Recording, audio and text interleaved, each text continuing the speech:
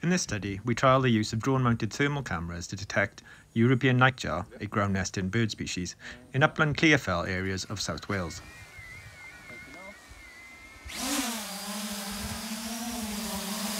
The study was completed at two sites, Bryn and Cwmcarn, on the Welsh Government Woodland Estate.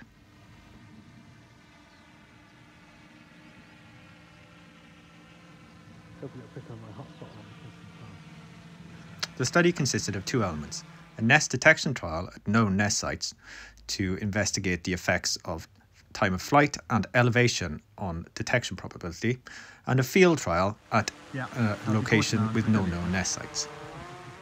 Flight elevation was shown to have a strong effect on detection probability of nest sites.